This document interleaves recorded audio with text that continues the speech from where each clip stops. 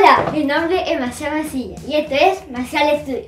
Quiero agradecer a los más de 30 suscriptores por apoyar y valorar mi trabajo. Por eso esta vez decidí que no voy a ser vecina. Chan chan. Haré un resumen del libro, dos historias increíbles. ¡Vamos!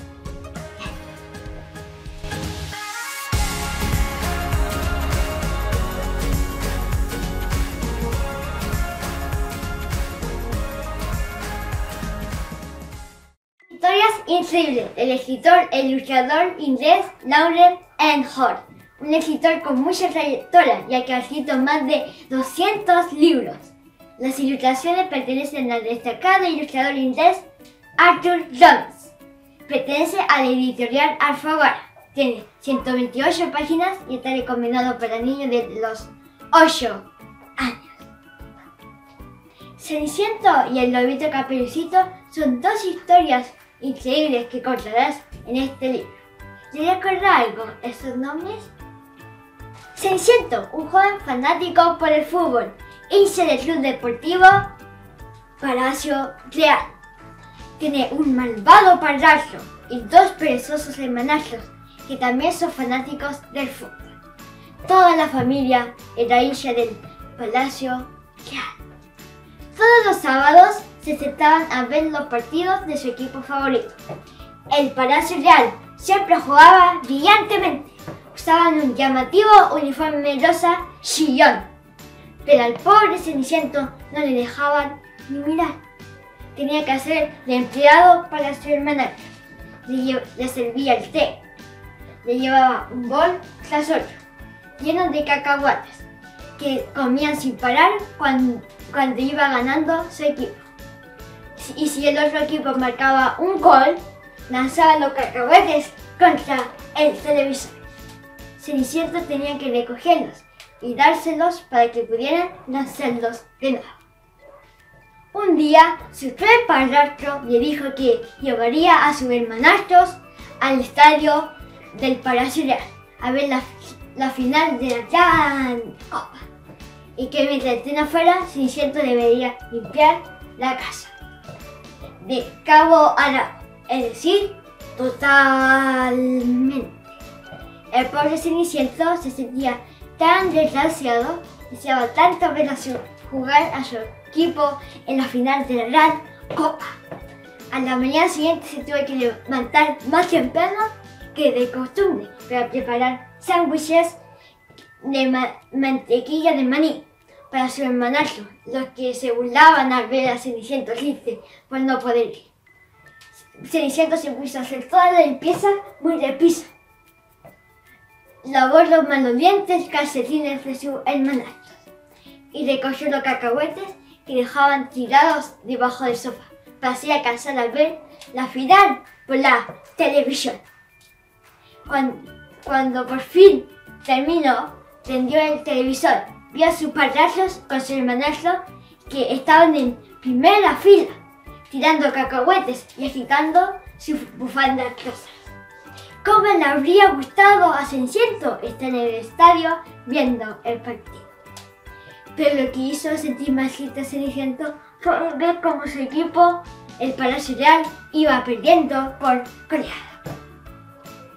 Mientras Ceniciento lloraba tan fuerte, que no podía oír la tele, se le apareció por la pantalla del televisor su telemadrina, quien le dijo que lo llevaría al estadio a ver la final. Lo vistió con el uniforme del equipo, le puso unos botines con talleres de cristal y lo llevó en una limusina. Antes de salir entregó un antifaz rosa para que su padrastro y su hermanastro no lo reconocieran. Le dijo que debería volver antes que terminara el partido. Cuando Ceniciento llegó al estadio, entró por una puerta que lo dejó justo en el terreno de juego. Ceniciento jugó hábilmente igualando el marcador 10 a 10.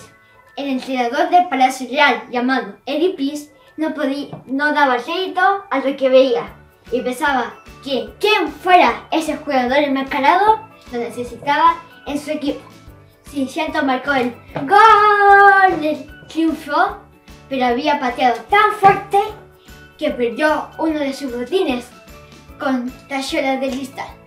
El Palacio Real había ganado el partido. Un millar de bolas rosas volaban en el aire. Y Cenicienta recordó la advertencia y corrió fuera del estadio, deprisa, a pesar de llevar un solo botín. Cuando llegó al estacionamiento vio que estaba solo el, el sofá en vez de la limusina y tuve que empujarla hasta casa. Cuando llegaron el padrastro y su hermanastro le presumían las jugadas que había hecho el jugador enmascarado, burlándose de Ceniciento para haberse perdido el partido. Ceniciento sonreía por dentro. Esa noche derramó lágrimas de alegría mientras soñaba con la gran victoria que había conseguido para el Palacio Real, el mejor equipo del mundo. Al día siguiente tocaron la puerta. Era el entrenador Eddie Prince quien estaba buscando al jugador enmascarado. Al que le quedase botín con talleres de cristal, jugaría en el Palacio Real el resto de su.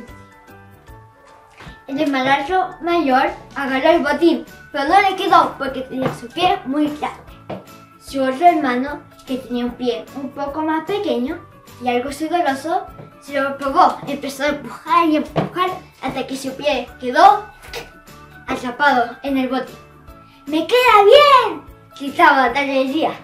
Entonces Cenicienta llegó con el antifaz rosa puesto, llevando en sus manos los pantalones cortos le dijo a su hermanastra que viera cómo se ponía esos pantalones. Pero su hermanastra que comía muchos cacahuetes no le quedaron los pantalones.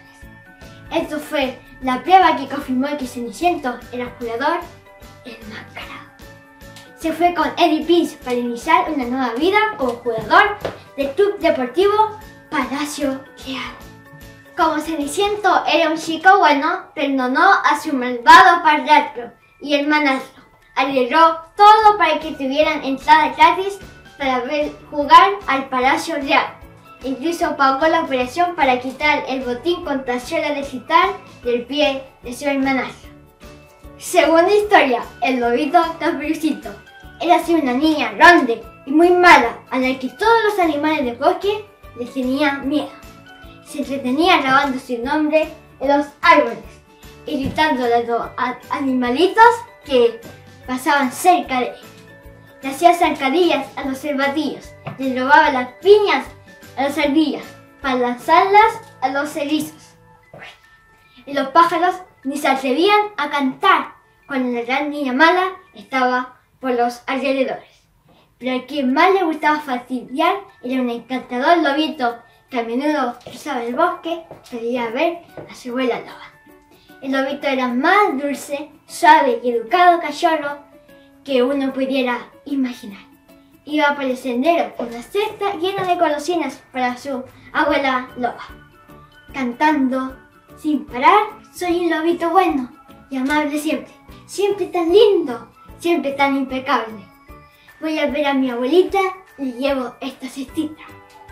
La gran niña mala le salía al camino, le comía las golosinas, los bocaditos dejando el lobito triste, llorando de pena.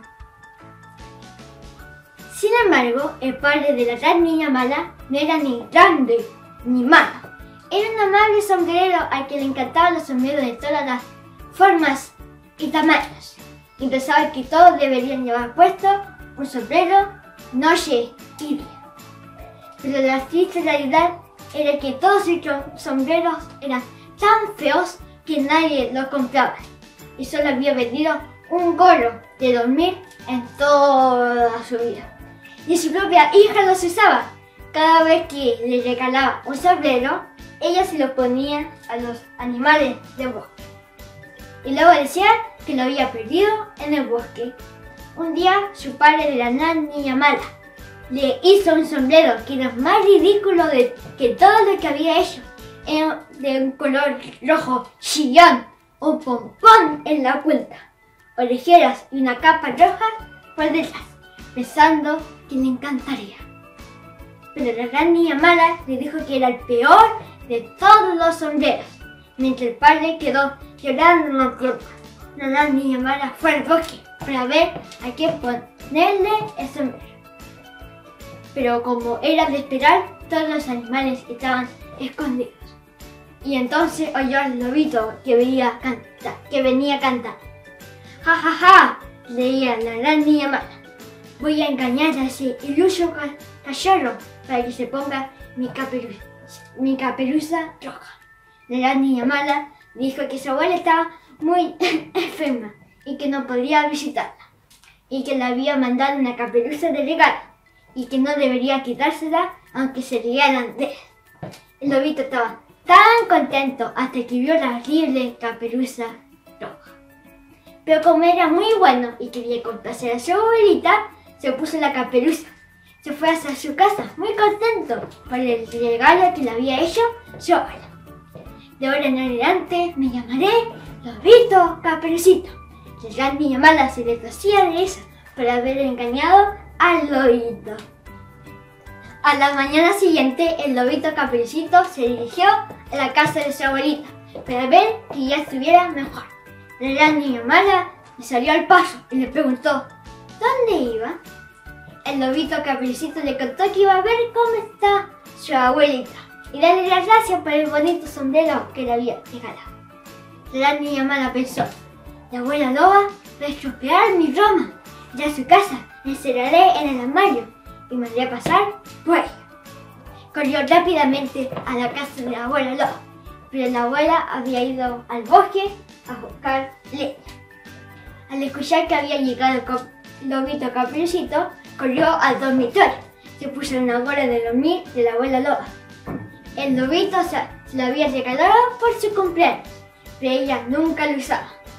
La niña mala se metió en la cama y se cubrió hasta los ojos. Cuando entró el, el lobito caperucito, se dio cuenta del engaño. En ese preciso instante llegó la verdadera abuela loba. Era enorme. Tenía grandes ojos amarillos grandes, colmillos afilados, una larga y húmeda lengua. Llevaba al hombro una hacha muy grande y afilada. La gran niña, la gran niña mala saltó de la cama, con, voló escaleras abajo. Corrió por el bosque hasta llegar a la tienda de su padre. Le rogó, le rogó que la dejara entrar y le prometió que sería una niña buena y que haría lo que pidiera. El padre la vio por la ventana. No podía creer lo que, lo veía. Era su hija con, con el gorro de los mil en la cabeza. Lo recordaba porque era el único que había venido. Te dejaré entrar, pero si prometes que siempre llevarás puesto ese sombrero. Y es así como la gran niña mala se convirtió en la gran niña buena. La mayor parte del tiempo, eso sí. Encontró trabajo de leñadora y su je- jefa la vigilaba cuidadosamente. La gran niña buena cumplió su promesa de llevar siempre su sombrero, aunque normalmente era un casco de obrero. Y la, la caperuza roja resultó ser muy útil cuando se tenían que llevar mucha niña. Y así terminamos este resumen especial 30 suscriptores. Si te gustó este resumen, dale like. No olvides suscribirte y activar la campanita para no perderte ningún video. Sígueme con, por Instagram como marcial.estudio. Sigan protegiéndose, al menos en la próxima escena. Chao, chao.